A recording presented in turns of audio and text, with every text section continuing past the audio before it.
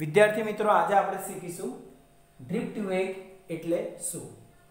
તો ડ્રિફ્ટ વેગને ઇંગ્લિશમાં drift velocity કહેવામાં આવે છે કે જેને વીડી વડે દર્શાવાય છે. તો હવે આપણે પહેલા તો આનો મતલબ સમજીએ. વેગ ધોરણ 11 માં આપણે શીખી ગયેલા છે કે વેગ એટલે શું? ડ્રિફ્ટનો મતલબ થશે કોઈના બળની અસર હેઠળ ખેંચાઈ જવું. તો તેને ડ્રિફ્ટ કહેવાય છે. તો અહીં વાહક તારમાં ઇલેક્ટ્રોનનો જે ડ્રિફ્ટ વેગ શોધવાનો છે તે કેવી રીતે શોધીશું? તો તેનું સૂત્ર કેવી રીતે ધારીશું તે પણ આપણે જોઈએ. તો અહીં એક આપણે વાહક તારનો ટુકડો લઈ લઈએ. આ રીતે.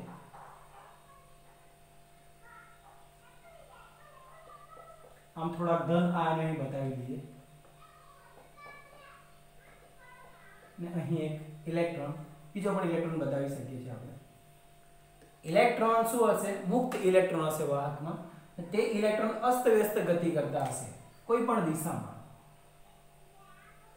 આ રીતે.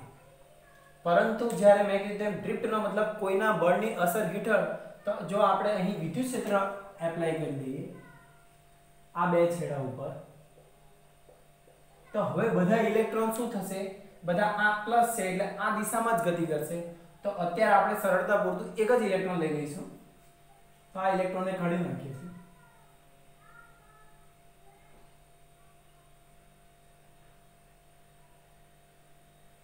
હવે આ ઇલેક્ટ્રોન આ દિશામાં ગતિ કરશે.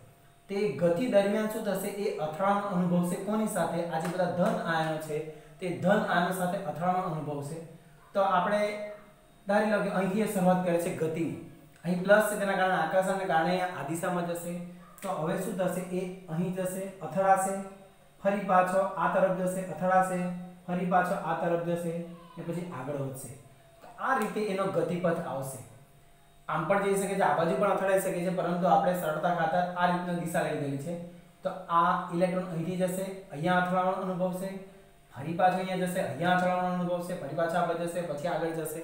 તો આ રીતે ક્રમિક ચાલતું રહેશે. તો હવે એમાં ડ્રિફ્ટ વેગ એટલે શું? તો જ્યારે આ ઇલેક્ટ્રોન અહીંથી ગતિની શરૂઆત કરશે, ત્યારે શું થશે? તેના વેગમાં વધારો. ને જેવો પહેલી અથડામણ અનુભવશે, ત્યારે એના વેગમાં શું થશે? ઘટાડો. એટલે આ પહેલી અથડામણ છે. ફરી પાછો એના વેગમાં શું થશે? વધારો. ને અહીંયા સુધીના વેગમાં સતત વધારો થશે. જેવો અથડાશે ને અથડામણ પછી એનો વેગ ઓછો થઈ જશે. યાની કે આ બીજી અથડામણ દરમિયાન એનો વેગ ઓછો થઈ જશે. ફરી પાછો એ વેગ પકડશે અને ફરી પાછો અહીંયા અથડાશે. તો હવે આપણે આ બે ક્રમિક અથડામણો વચ્ચેનું જોઈએ બિહેવિયર એનું. ને તેના પરથી આપણે ડ્રિફ્ટ વેગનું સૂત્ર લાવીશું.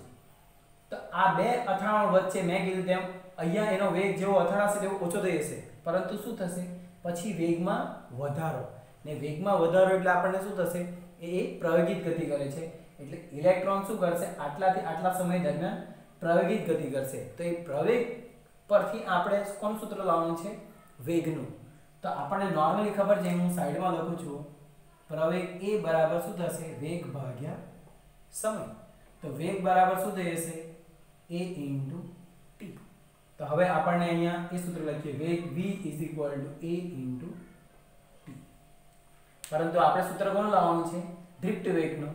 તો એ vd is equal to a. હવે જે આ જે સમય છે, તે સમયની જગ્યાએ અહીંયા લખેલો છે એ લોકોએ રિલેક્સેશન સમય ટુ, કે જેને ટુ વડે દર્શાવાય છે. તો a ઇન્ટુ રિલેક્સેશન સમય. હવે સવાલ એ થશે કે આ રિલેક્સેશન સમય શું છે? તો આ બે ક્રમિક અથડામણ વચ્ચેનો જે સમયગાળો છે, તેને રિલેક્સેશન સમય ટો કહે છે. તો હવે ફરી પાછો સવાલ એવો થશે કે એને રિલેક્સેશન સમય શું કામ કહે છે? તો એમ જોવા જાય તો અહીંથી એણે ગતિની શરૂઆત કરી, અહીં અથડામણ અનુભવી, ફરી પાછો અહીંથી, અહીંયા દરમિયાન કોઈ જગ્યાએ અથડામણ અનુભવતો નથી ને અહીં આવીને અથડામણ અનુભવે છે. યાને કે આ સમયગાળા દરમિયાન ઇલેક્ટ્રોન શું રહે છે? રિલેક્સ યાને કે એટલા માટે એ સમયને શું કહેવામાં આવે છે? રિલેક્સેશન સમય. તો સૂત્ર દે છે vd ઇઝ ઇક્વલ ટુ પ્રવેગ a ગુણ્યા રિલેક્સેશન સમય ટુ હવે ઇલેક્ટ્રોનનો પ્રવેગ કેટલો? તો તે ગણવું હોય તો આ વિદ્યુત ક્ષેત્રની અસર હેઠળ આ ઇલેક્ટ્રોન ગતિ કરે છે. તો આપણે કહી શકીએ છીએ કે ઇલેક્ટ્રોન હું અહીંયા સાઈડમાં લખું છું. ઇલેક્ટ્રોન પર લાગતું બળ આપણને પહેલા ચેપ્ટર મુજબ ખબર છે, F ઇઝ ઇક્વલ આ એક્સ્ટ્રા છે, અને નહીં જોતા. F ઇઝ ઇક્વલ ટુ શું છે? Q E. પહેલા ચેપ્ટરમાં આપણને ખબર છે કોઈ પણ વિદ્યુત ભારને વિદ્યુત ક્ષેત્રની અસર હેઠળ મૂકવામાં આવે તેના પર બળ લાગે છે F Q E. હવે F આપણને ખબર છે દળ ગુણ્યા પ્રવેગ. Q વિદ્યુતભાર કોણ છે? ઇલેક્ટ્રોન. વિદ્યુત ક્ષેત્ર છે E. તો પ્રવેગ A બરાબર શું થઈ જશે? E E m. એટલે આ ઇલેક્ટ્રોનનું દળ. તો વિદ્યુત ભારને જો વિદ્યુત ક્ષેત્રની અસર હેઠળ મૂકવામાં આવે, તો તેનો પ્રવેગ કેટલો થઈ જશે? E E m. જ્યાં અહીં E એ ઇલેક્ટ્રોનનો વિદ્યુત ભાર છે. આ વિદ્યુત ક્ષેત્ર છે અને m એ ઇલેક્ટ્રોનનું દળ છે. તો આ મૂલ્ય આપણે અહીં મૂકી દઈએ. તે રહેશે VD is equal to E into E by m into 2